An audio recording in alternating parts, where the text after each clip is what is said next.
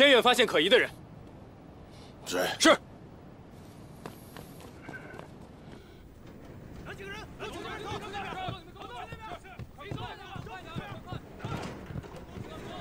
哦，来不及了，我去拖住他们。郡主给你，快！不，你们走，我来拖住他们，顺便报仇。改日再报，机不可失。郡主不见，裘老贼必定不会罢休。到时候搜查起来，百姓又要遭殃。不如我在这里了结了此事。可是，我也不是为了帮你们，只是王林非死不可。紫苑啊，程若玉，如果有一天，如果真的能有那么一天，你一定要为朝露之变的数千英魂恢复清誉。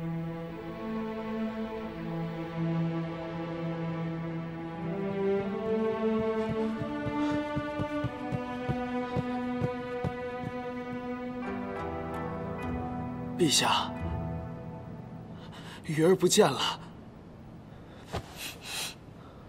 老奴已经问过门禁官了，他下午就出宫了，至今未归。派人去找。是。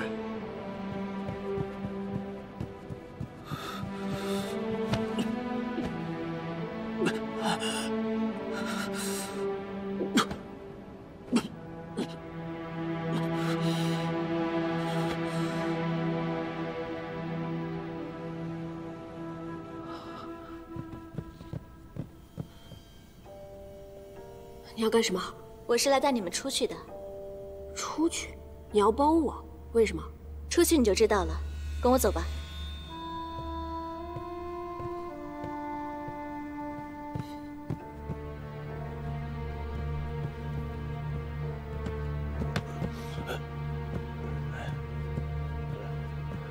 大人，大人，西院也着火了。灭火。肯定是声东击西之计。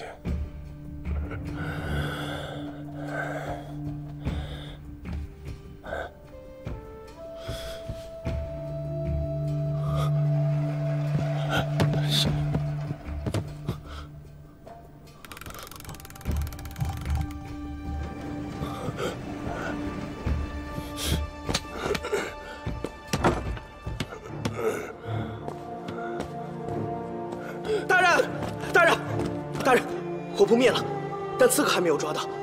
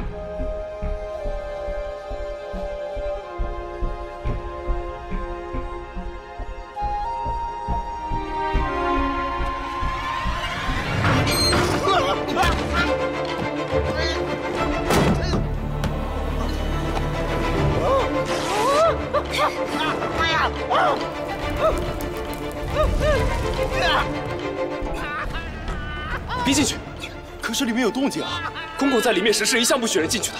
可里面的人是郡主啊！公公的胆子也太大了。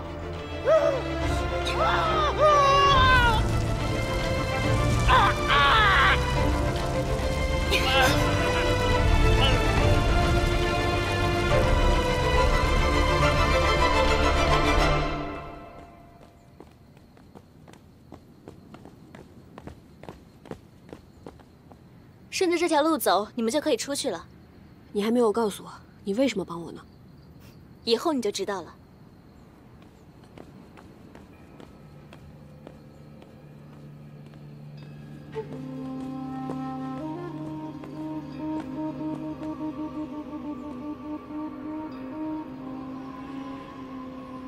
这是去哪儿啊？这么晚了，还不回家？你怎么会在这儿？我是来谢谢你的。我可没什么好谢的。为了取信于裘子良，我只能交出流弥沙。但若交给降其营，有裘胭脂在，你是偷不出来的。交给王林就不同了，那位心怀叵测的裘胭脂，没准还能帮你一把。现在，把流弥沙还给我吧。我绝不会把弥沙郡主交给你的。不，你会的，否则你的好陛下就要死了。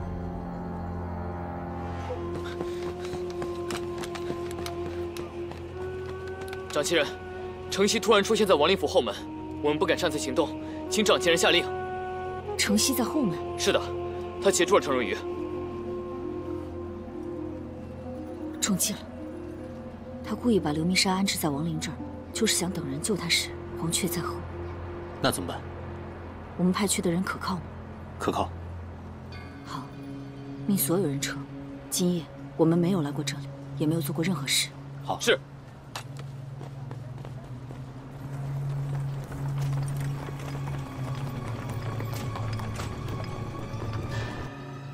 如果裘子良知道是齐燕派你救走的流弥沙，以他的性格，不会再忍到册封大典。偏偏这个时候，你的好陛下为你受了这么重的伤，随便来个卒子就能杀了他。我来救弥沙郡主，陛下根本不知情。我信，但是裘子良会相信吗？所以把郡主给我，此事就到此为止。王林那边我帮你兜着，郡主，我也会好好对待，而你也能陪在你的好陛下身边，赶紧陪他疗好伤，继续对付裘子良，一举三得。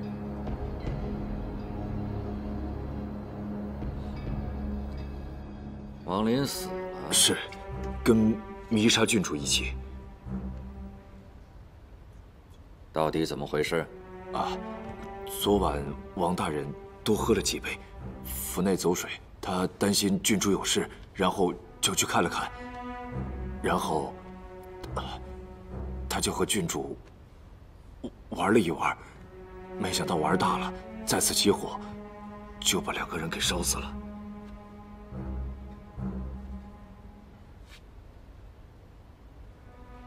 本宫千叮咛万嘱咐，让他把刘弥沙看好。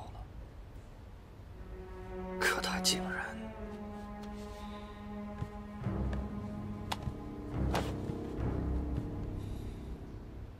怎么好端端的起了两次火呀？啊，第一次是因为府内烧火的厨子不小心，啊，很快就扑灭了。第第二次，第二次这王大人他喜欢玩玩蜡油，结果就。你确定死的是王林和刘弥沙？哦，守卫看见王大人进去了，当时郡主还好端端的。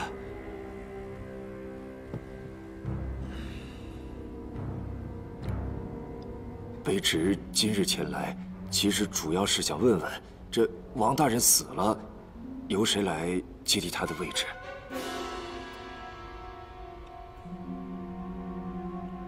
啊，大人。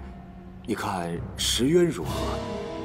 他跟随大人多年，虽然不及王大人有才干，但是，但是他忠心耿耿啊。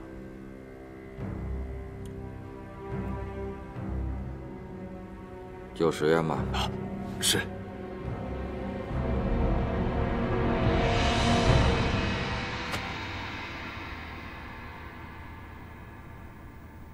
江定真这么跟裘子良说的？是，大人已经同意，由石渊接替王林的职务。所以，江定是被程曦收买了吗？程曦这一出，真是一箭三雕的好计。王林一死，接替他职位的石渊，只怕也是程曦的人。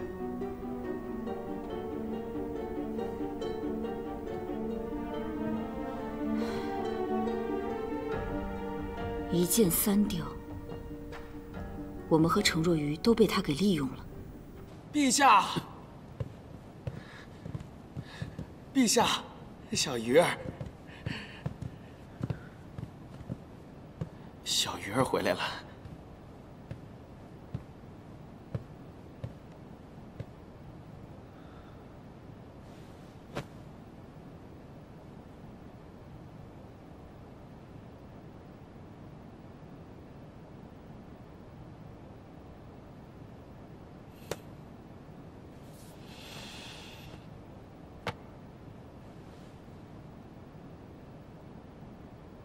怎么了？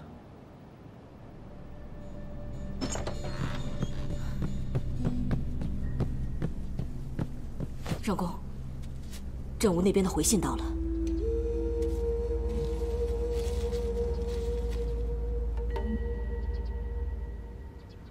太好了，他们答应了我们的条件。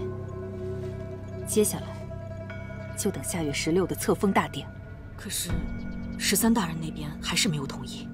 十三避世太久，人都带傻了，此事由不得他不同意。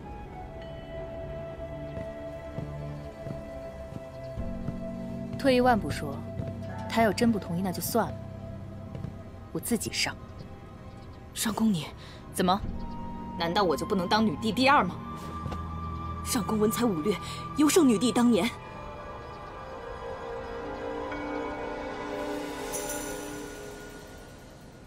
如是命也，起来吧。臣不甘心，真的不甘心。就只差一点，我就可以把明沙郡主救出来。可是姑姑，偏偏是姑姑。他既然那么想要这个位置，拿去也无妨。下，但是这个位置，他又能守得住多久？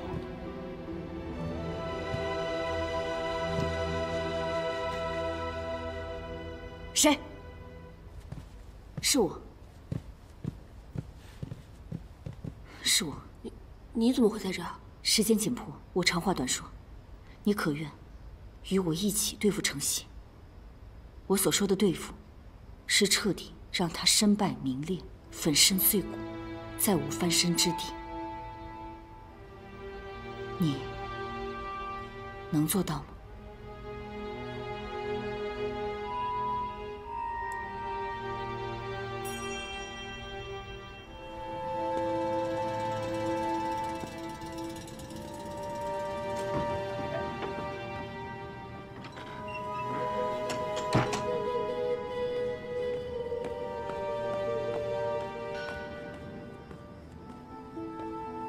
如何？他答应了吗？还在犹豫。我就说那条小杂鱼做不到的，毕竟，是程曦把他一手养大的。那就另寻他法。我一定要赢程曦，绝不能让他毁了我的复仇大计。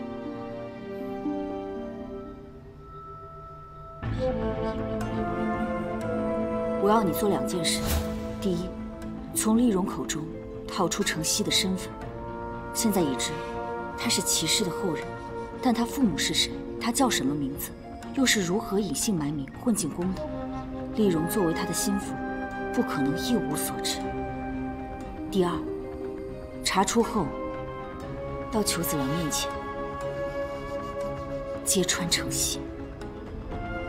齐燕和程曦，你只能选一人。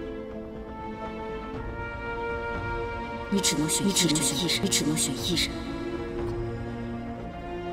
承熙要置齐燕于死地，而你若在裘子良面前揭穿承熙身份，以裘子良的手段，承熙必死无疑。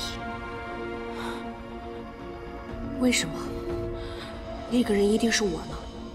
只有你说，才有信服力。鱼儿，有些事我查不到，但你可以。你还记得你是如何离开王林府的吗？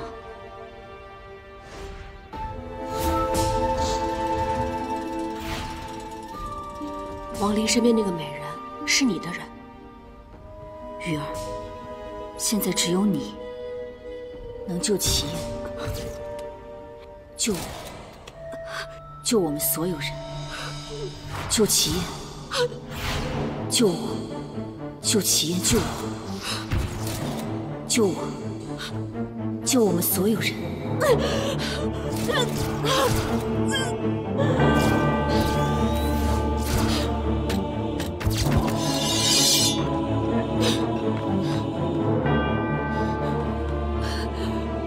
你们试试，不要过来！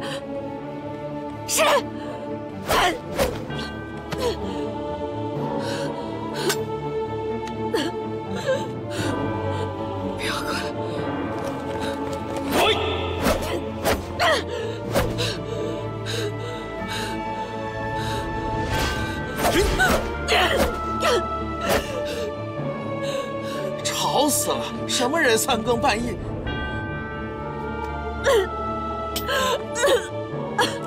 鱼儿，陛下，不要过来！你要干什么？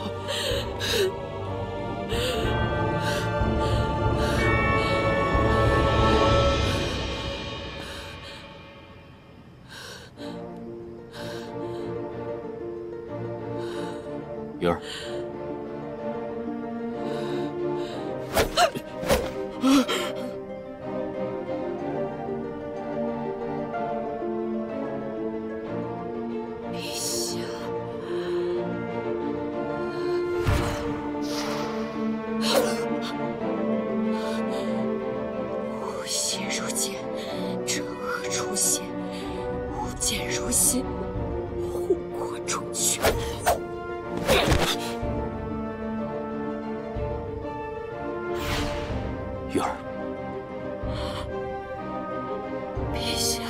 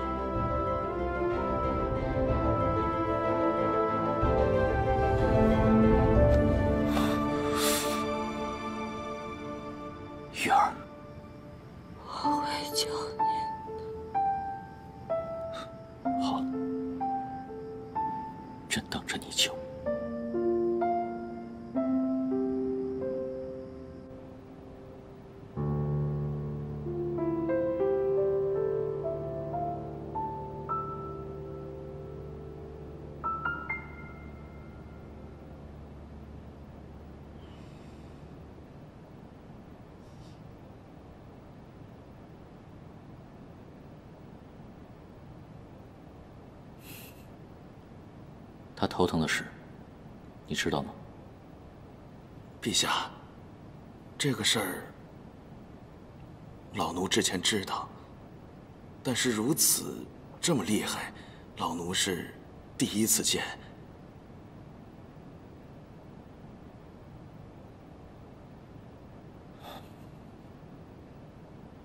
那他是怎么受的伤呢？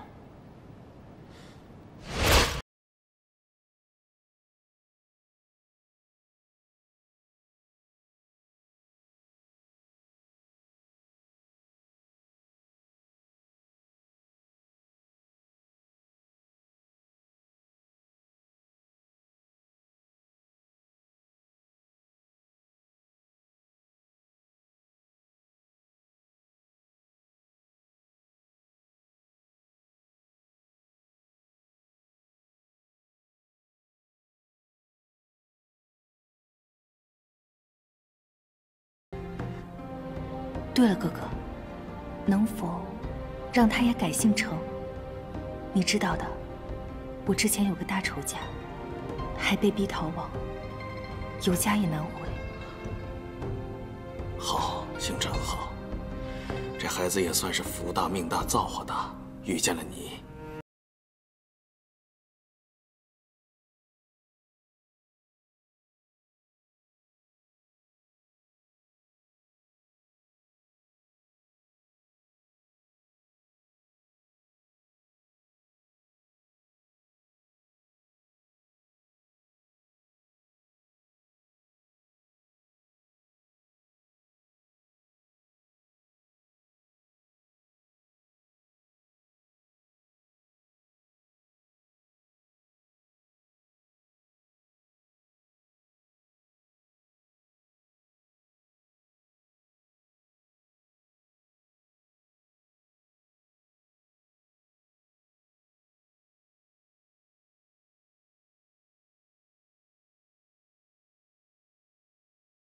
事情，怕他伤心。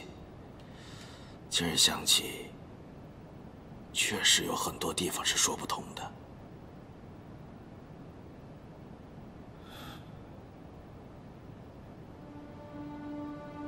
也就是说，从头至尾，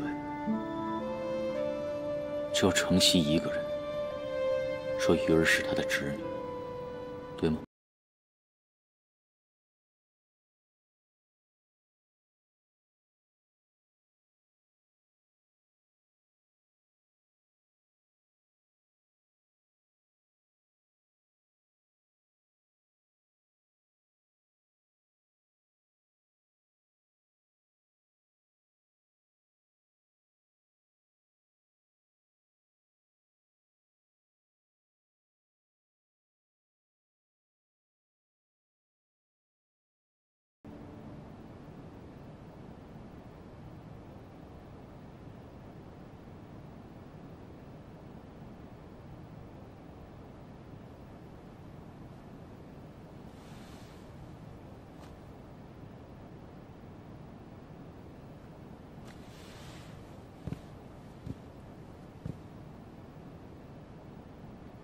王叔怎么看？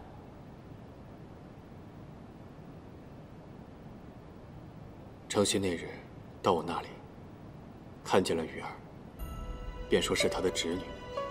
我问他如何肯定，他说除了相貌，身上还有他认得的一个胎记。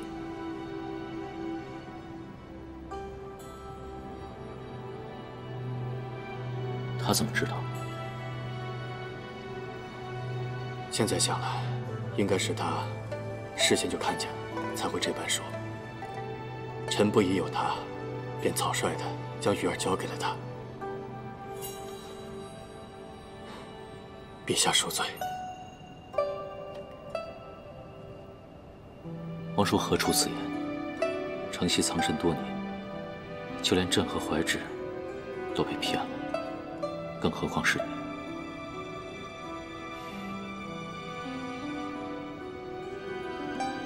鱼儿这病，无药可解，也不知道下一次发作会是什么时候。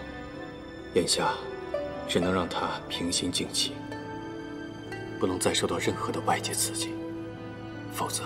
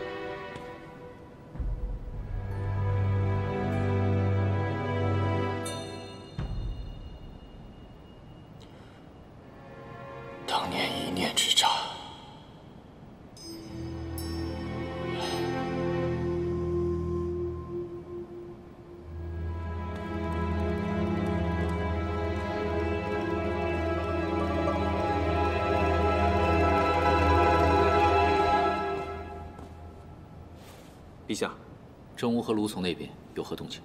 郑武那边因为迷沙郡主久久未归，开始有些不耐烦了。卢从那边，张江虽然效仿陈应台奏请节约，但是因为有前车之鉴，尚不敢有什么动作。朕知道了。还有一件事情需要你去做。陛下，请讲。你去查一下鱼儿的真实身世，以及王叔和程曦之间这些年的来往。陛下，您真的觉得他？朕不是不相信。如果鱼儿不是程若愚，而是程心故意推到朕的身边，那这理由绝不简单。朕之前让关王叔带他离开，却一而再、再而三的受阻。朕从不相信巧合这两个字，这其中必有缘由。是。去吧。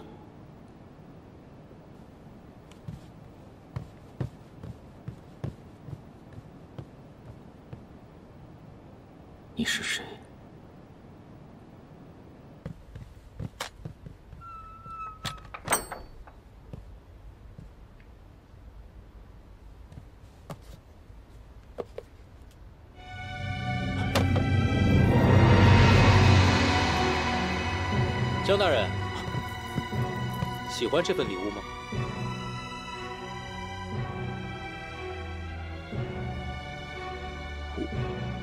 我儿，江定的妻子是个母老虎，多年无所出。他在外头有个私生子，一直瞒着家人。我抓了他儿子，他果然就范。程曦许诺他什么？神裁军大将军之位。权势和骨肉，果然还是骨肉更重要。而且我答应他，事成之后，大将军之位还是他的。看紧他，免得他又反悔。放心吧，下一个，是不是就该轮到石渊了？查清他的底细了吗？此人就一个毛病，贪杯。真是一个非常好的毛病。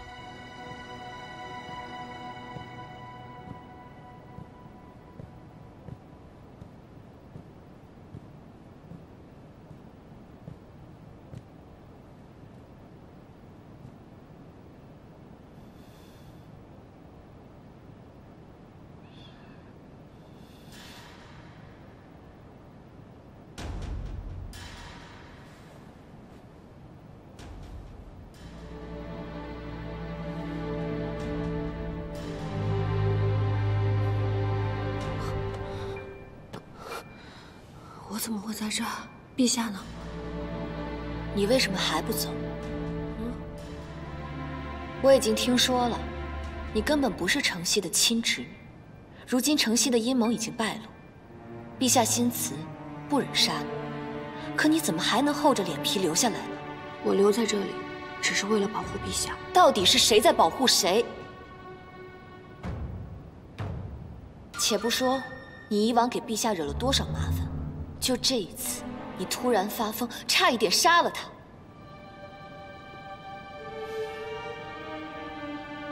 你要是真的想要帮陛下，就应该去找程曦，杀了他，再杀了裘子良，彻底解决陛下的麻烦，而不是在这里打着保护他的名号，拖他的后腿。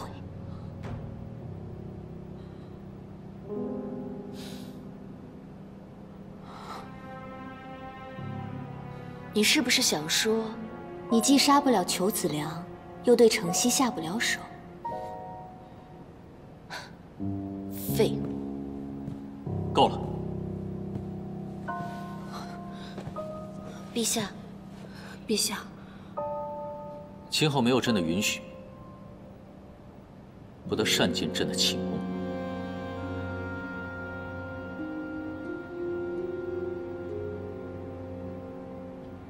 却可以躺在你的龙榻上。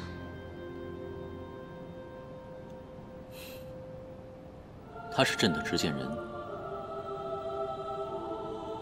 有重病在身。执剑人，陛下何必自欺欺人？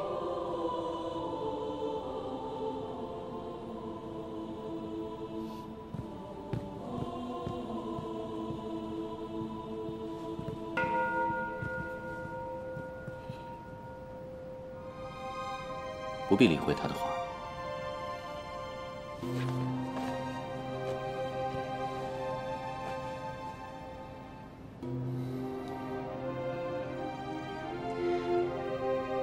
我真的差点杀了陛下吗？没有，你呢？看见是朕来了，就立马停手了，所以你怎么可能伤到朕呢？怎么内疚了？朕真的没事，不是好好的吗？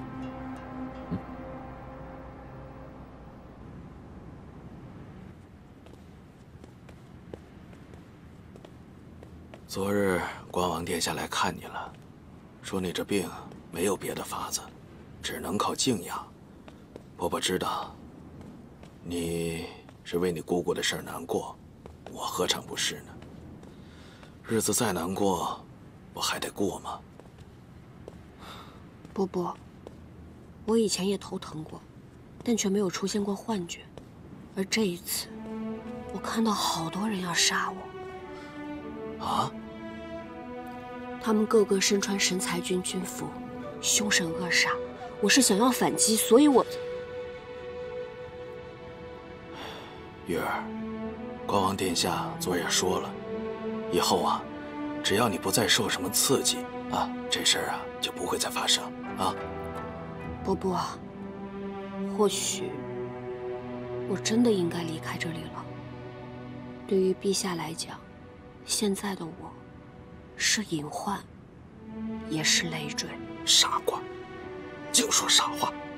你离开这儿能去哪儿啊？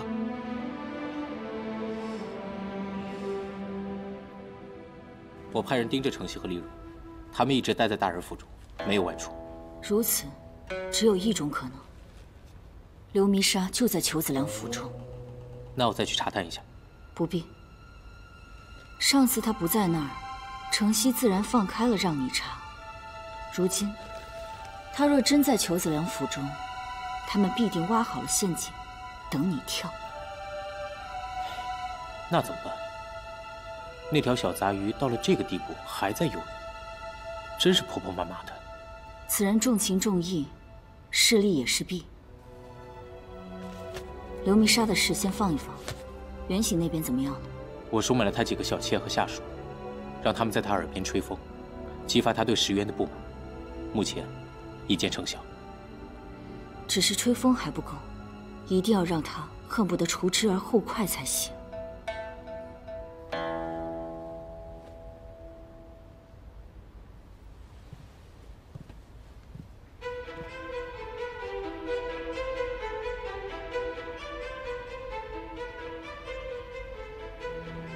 来了，我要裘府的地图，姑姑的位置，还有你的帮助。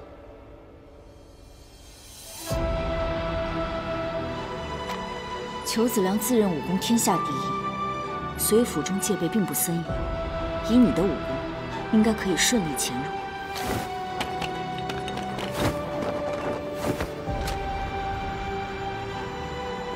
但承熙会另外安排死士巡逻，要怎么避开，就要你随机应变了。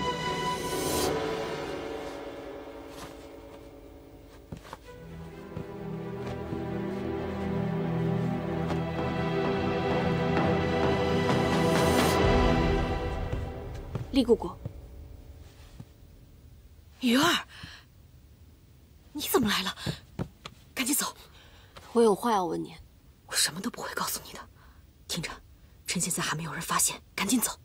要是被上宫知道了，那可就糟了。走。您告诉我，弥沙在哪？不行。告诉我，鱼儿，我跟上宫十年，不止敬畏，还还有感情啊！我是不会背叛他的。哎，你去哪儿？我跟姑姑之间，必须要有一个了断。不是现在。鱼儿，听我说，你姑姑她是有苦衷的，你不帮她就算了，但是绝对不能反过头来对付她，知道吗？那您告诉我，她的苦衷是什么？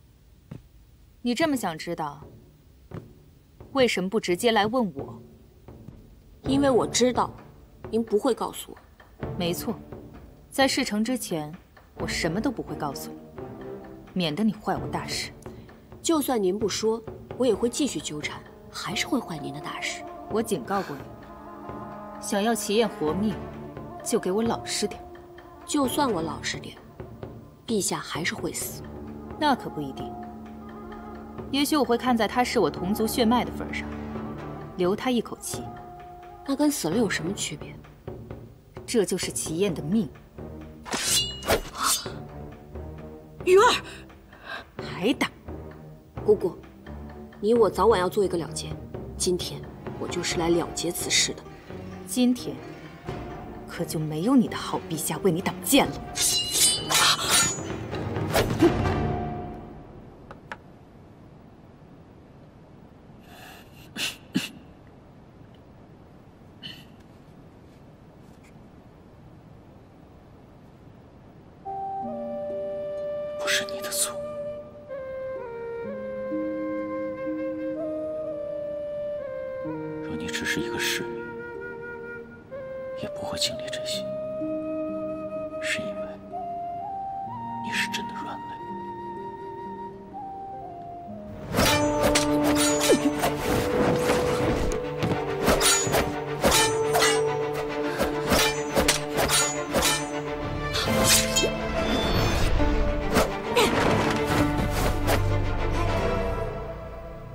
你是不是觉得你的武功进步了很多？跟我比，差远了。别打了，别打了，上公，鱼儿不懂事，我们好好劝劝他就好了。滚开！鱼儿，你不能这样对待你姑姑，赶紧把剑给放下。李姑姑，你别管，让开！姑姑，姑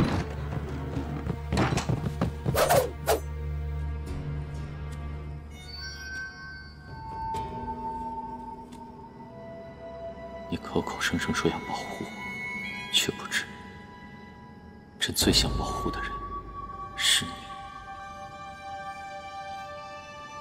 不管你是谁，承熙对你存了怎样的目的，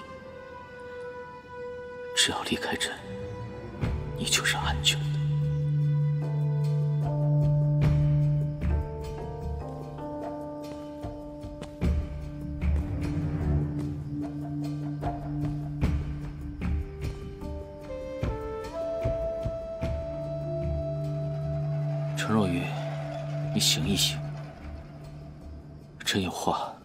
必须立刻马上让你听。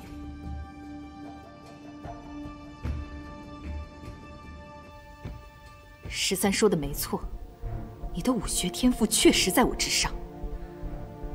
本以为你长大后习武有成，能够帮助我的，结果……圣公，圣公不好了，您的炼丹房着火了！声东击西，你带了同伙？泥沙郡主，就是藏在您的炼丹房中，不是吗？看好他！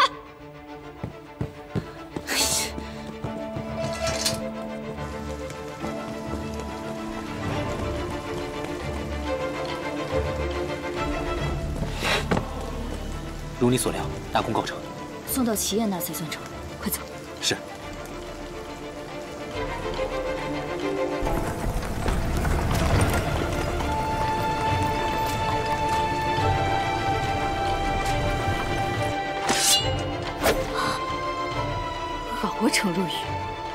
教给你武功，反过头来对付我。早知道当年就该让你一箭穿心的死了。上官息怒，鱼儿，鱼儿他只是放开我。有。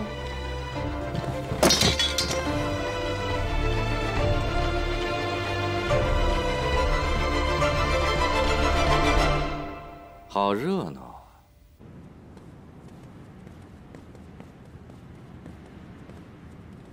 人送进去了。送进去了，放心吧。大人这会儿已经听到城西那边的动静，赶过去看了。裘子良想知道发生了什么，而城西又不能说出实情，只能吃下这哑巴亏。可小杂鱼落到大人手中，只怕凶多吉少。所以我们要赶紧，接下来就看齐燕的了。说，是什么事让你们姑侄三更半夜打作一团？告诉本宫，本宫好替你们主持公道。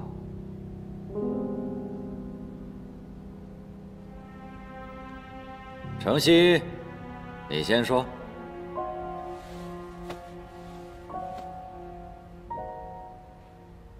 奴刺了陛下一剑，鱼儿就跟我闹，让大人见笑了。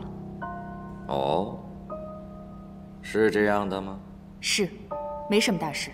可本宫明明听到，你要杀他。一时在气头上，奴教职误方，悔恨不已。那就本宫替你好好教教吧，保证还你一个听话、乖巧。明白事理的好侄女。